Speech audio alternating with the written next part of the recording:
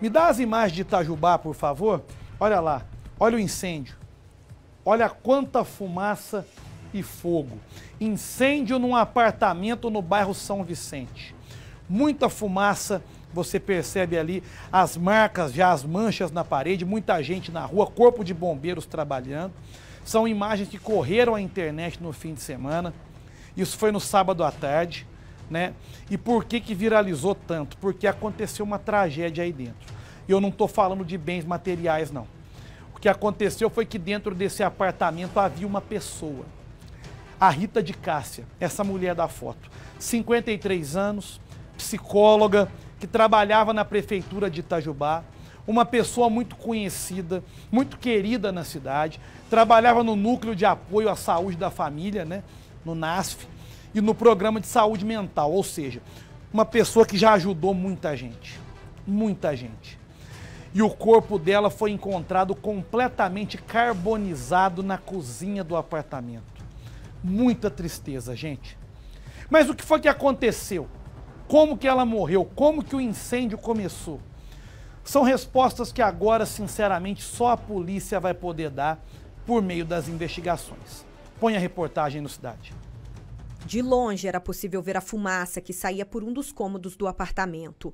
Isso foi no bairro São Vicente, em Itajubá, no sul de Minas. Moradores registraram um momento em que o corpo de bombeiros chegou ao prédio, que tem quatro andares. O local foi isolado e os militares entraram para apagar as chamas. A guarda de imediato deslocou-se né, para verificar. Chegando no local, interditou essa via, né, devido ao grande número de populares que ali já se encontravam, né, alguns curiosos. Então, o trabalho da guarda é o que? A preservação à vida, né? É, pediu para essas pessoas não ficarem próximo, porque a gente não sabia qual era a gravidade realmente desse prédio também, podendo vir até mesmo a ceder, né? Enquanto os bombeiros faziam o controle das chamas e também o rescaldo, encontraram um corpo totalmente carbonizado na cozinha. A vítima é uma psicóloga, Rita de Cássia Almeida, de 53 anos. A informação é que o corpo estava bem perto do fogão e do botijão de gás. Alguns animais foram encontrados vivos em um dos quartos e foram resgatados. Nessas fotos é possível ver a situação do imóvel após o trabalho dos bombeiros. Praticamente todos os cômodos foram atingidos pelo incêndio. Ao verificar no interior do mesmo, foi localizada ali uma identidade, né, onde tratava-se ali de uma uma funcionária pública né, do município, uma psicóloga, né, uma mulher ali, o nome de Rita de Cássia, né, de 53 anos. É, mesmo com essas informações, a gente não poderia afirmar se se tratava dessa, dessa senhora, né? É, a perícia né, já se encontrava ali no, dentro do, estabelecimento e diante de algumas informações foi, né, infelizmente ali constatado que se tratava é, da senhora Rita, pois dentro do apartamento não encontrava-se mais ninguém, né? Exceto ali um cachorro e cinco gatos que foram ali resgatados também pelo Corpo de Bombeiros. Não havia risco de desabamento, mas três famílias que moram no prédio precisaram ser desalojadas por causa do cheiro da fumaça. A suspeita é que as chamas tenham começado na cozinha.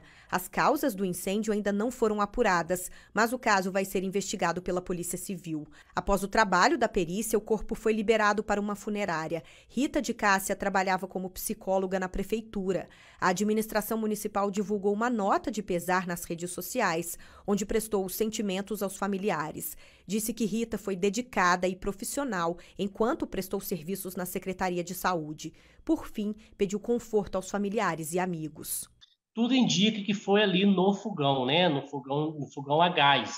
Mas a gente não pode afirmar essa situação, pois o corpo né, da, da, da Rita de Cássia ela foi encontrado ao lado desse fogão, né? Isso deduz que talvez a mesma estava ali mexendo com cozinhando algo, né?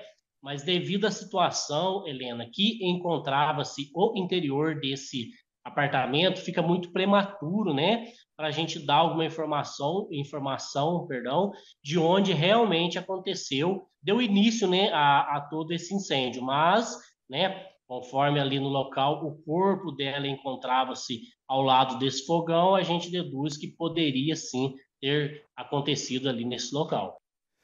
Aparentemente um acidente.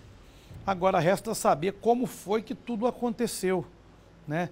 Se houve, acredito eu que explosão de botijão de gás não está com cara, porque iria afetar a estrutura do, do, do apartamento, do prédio, tudo mais, haveria rachaduras, isso e aquilo, né? Resta saber como foi que esse incêndio aconteceu. Se ela passou mal, alguma coisa do tipo. Como eu disse lá atrás, só a polícia vai poder esclarecer tudo isso. Os nossos sinceros sentimentos aos familiares dessa mulher.